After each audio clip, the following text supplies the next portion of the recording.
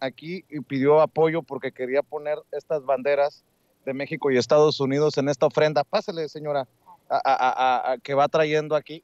Hágase un poquito más para acá. ¿Cuál es su nombre? Andrea. Andrea, la veo poniendo las banderas tanto de México como de Estados Unidos. Sí, esto es para que ellos respondan y tomen en cuenta de lo que uno sufre, de lo que uno batalla. Necesitamos el apoyo del Estados Unidos para que den, eh, los den una chance de, de, de, arreglar, para, para no tener esta clase de, de, de desgracias. Deben de, tomar en cuenta lo que uno sufre y lo que uno de veras necesita para sobrevivir.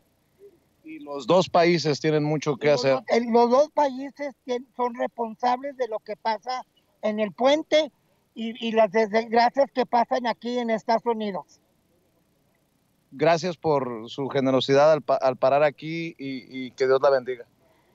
Gracias, gracias a usted. Gracias. Pues así como ella, hemos visto desfilar a cientos de miembros de esta comunidad de San Antonio indignados eh, y no es la, la, la, única ni será la última tragedia. Eh, Meme Ramiro eh, me acaba de pasar un cable, el querido Toño,